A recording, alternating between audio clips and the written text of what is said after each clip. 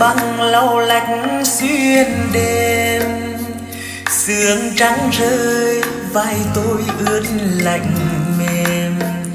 Chim muông buồn rủ nhau bay về đâu, ngẩn ngơ lố vượn gọi nhau. Nào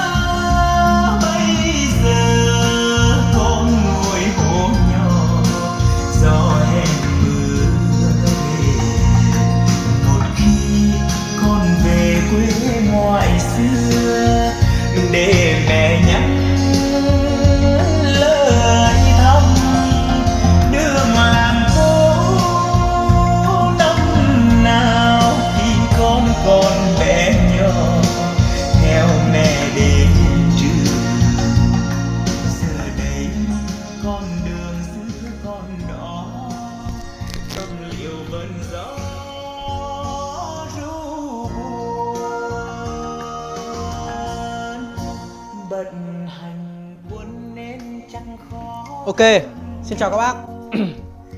À, Theo các bác thì ờ, video này em sẽ giới thiệu đến các bác cái bộ dàn Kenwood này hay là em sẽ làm một cái chủ đề khác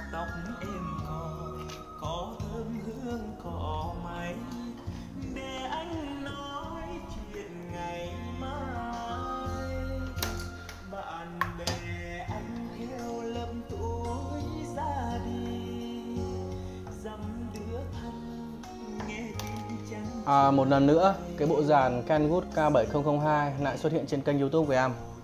Cũng đã từ rất là lâu rồi. Một bộ dàn với hình thức xuất sắc nhất từ trước đến giờ. Cái CD này như là một cái CD vừa xuất xưởng rồi các bạn. Giới thiệu qua một chút về cái bộ dàn này để anh em đang trên con đường tìm hiểu cho mua cho mình một cái bộ à, dàn chung cao cấp mà với cái âm bass nó đầy nội lực với cái tiếng bass đánh nó sâu thẳm cũng như nó chắc tiếng thì Kenwood K7002 dường như là một trong những cái bộ dàn các bác không thể bỏ qua. Kể cả các bác có thể tìm những cái bộ dàn chung hoặc là dàn à, dàn đại nhiều thớt và những cái dàn như kiểu mà nó cái hình thức màu đen hoặc màu ấy nhiều thớt 5 6 thớt mà loa 3 2 3 đường tiếng thì gặp bộ dàn này em nghĩ là cúi đầu hết thôi. ok ok điểm đặc biệt ở trên có trên ờ, cái thiết bị này âm. À, chúng ta có một cái âm ni của 7002 với thiết kế màu nông xám chuột rất là đẹp và hiện tại đến thời điểm hiện tại thì thiết kế này đã được quay lại trên những cái phiên bản như K805 à, ờ, âm ly này có khả năng đánh ờ, hai cầu AB với rất là nhiều suộc vào MD, tape AUX, tuner, CD, ờ, phono và có thêm chức năng chỉnh bắt chép ngoài, chức năng now LED nào nét đấy ạ. Ok, chúng ta có một cái con CD 7002 với cái nội thất cực gấu 2 tầng. Con này chạy 8 sò giải mã các bác nhá. Và các bác có thể nhìn cái hình thức của con CD này nó như một con CD vừa xuất xưởng luôn, rất là đẹp và tuyệt vời. Đó các bác có thể thấy. Nhân vật chính của chúng ta rất là nhiều người săn lùng và tìm tìm kiếm đó là con MD 7002S. À, ok đây các bác có thể thấy con MD 7002S một trong những con MD size chung cao cấp với cái nội thất của con MD à, huyền thoại à, dàn à, dàn dân dụng là 9090 bo mạch y như nhau mỗi chồng nhiễu với cả là kích thước là khác thôi Video này em sẽ dành à, thời gian để chia sẻ với các bác tận dụng con MD này giải mã tín hiệu từ Smart TV xuống và không cần đĩa mồi.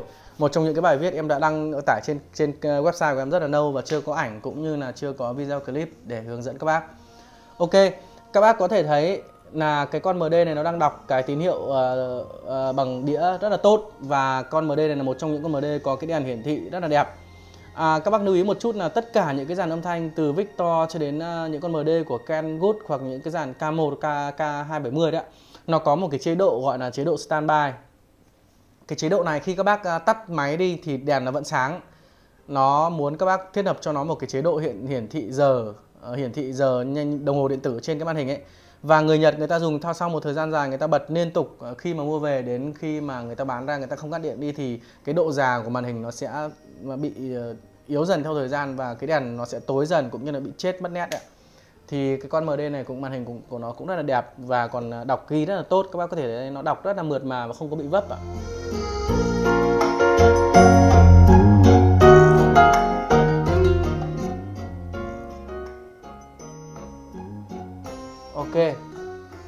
Giờ uh, em sẽ quay về sau để chúng ta có thể tham khảo là các bác phải kết nối như thế nào để nó có thể giải mã tín hiệu từ Smart TV bài uh, cái bài video này không dành cho những các bác đã biết rồi ạ. À, em có rất là nhiều khách đặt câu hỏi này vì thế em sẽ dành một thời gian thành thời gian này để làm cho các bác một video clip này.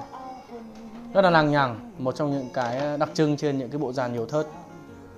Ok, chúng ta không cần quan tâm đến những cái ờ, kết nối từ CD cũng như là từ um, âm ni dưới chúng ta chỉ cần quan tâm cho em một điểm đó là à, con MD 7002S à, nó cũng giống với trên 7002 và 7002 7003 với những cái cổng à, ra vào như sau. Đây là cái cổng RI RI đó cổng này thì các bác kết nối với âm ni qua một cái cáp RI thì cái điều khiển zin của dàn nó sẽ điều khiển được cả cái thớt này. Ok chúng ta có một đường nai. Nai thì nó sẽ có nai in và nai out à, nai in là một cái đường in vào thì các bác không quan tâm. Các bác cắm à, đường out ra xuống âm ni cho em. Play out cắm vào đường uh, play in ở trên cái âm ni tiếp đến là chúng ta sẽ có rec in và đây là khung chung là digital này. Rec in và play out này. Thì các bác sẽ kết nối cho em như thế này. Các bác sẽ rút cái à, cổng này ra. Đó cổng bảo vệ này ra. Và các bác cắm cái đường cáp quang từ trên Smart TV các bác xuống nó có tín hiệu màu đỏ như này này đó chỉ đơn giản như thế thôi và chúng ta sẽ quay về mặt trước.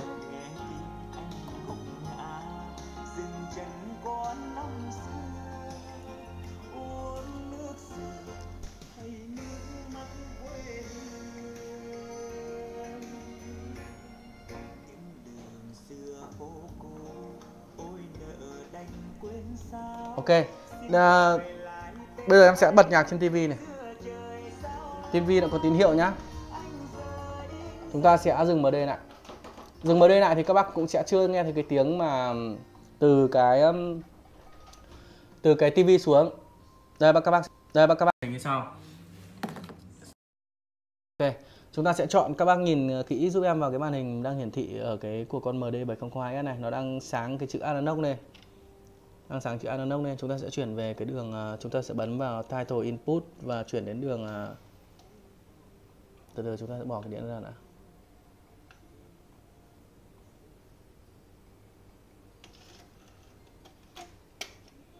title input này. À chúng ta sẽ bấm vào rec input các bác nhá. Rec input thì các bác chúng ta sẽ có là uh, digital 1 này digital 2 thì chúng ta sẽ dừng ở điểm digital 2 này. Ok và tiếp theo chúng ta sẽ phải ấn nút monitor này. Đó. Khi các bác ấn nút monitor xong thì con DAC này nó đã giải mã tín hiệu từ Smart TV xuống với cái tần số như này. Đây các bác có thể thấy là tắt monitor đi là mất luôn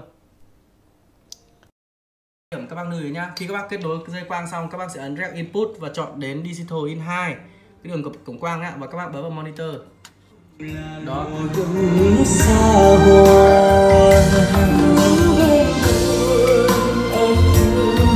mình không đẹp như mình hằng mơ. Tế nhiều khi hay phũ phàng. Những câu mong trời cho chúng ta sẽ vượt qua cơn bão tố. Chỉ cần một mái tranh thôi chúng mình vợ chồng thiên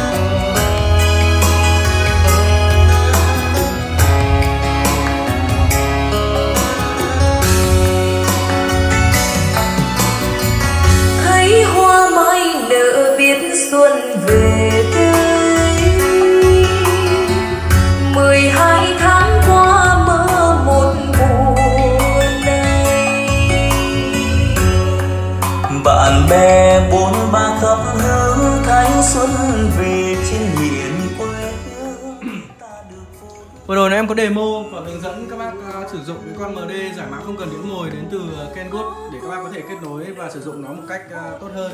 Dành cho những cái bác uh, video dành video này dành cho những cái bác mà đang băn khoăn trong cái khoảng này.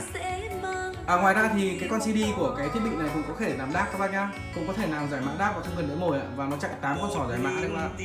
Nên là vì sao là con bộ dàn Kenwood này được luôn được anh em quan tâm rất là nhiều. Rất là hay. Chúng ta sẽ chuyển về chế độ CD và thử chất âm, cái chất bass của thiết bị này. Rất là khủng các bạn.